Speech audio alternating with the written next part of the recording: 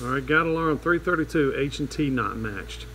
What that means is if you go up here and look at your program, we've got tool 4 with height offset 3.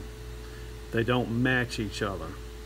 So if we change that, we change that to edit, go down, HO4, alter, now they match. Reset. Run the graphics. It runs and no alarm. So some shops will have it in your settings. Setting 15. If your H&T agreement is on, then that will cause it to alarm out. If it's off,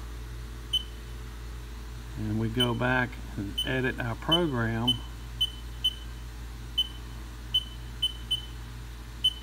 You watch it will actually run with no alarms.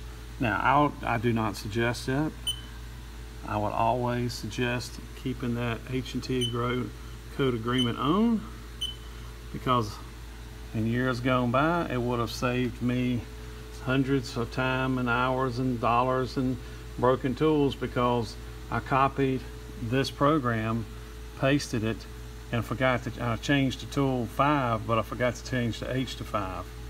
So I pick, it, it picked up tool 5, but it ran a length offset 4, which was who knows where, so it crashed it. So I would keep suggest make sure you keep setting 15 H&T code agreement on and if you do, the machine will catch if you got a typo tool 4 and H4 if they match or not.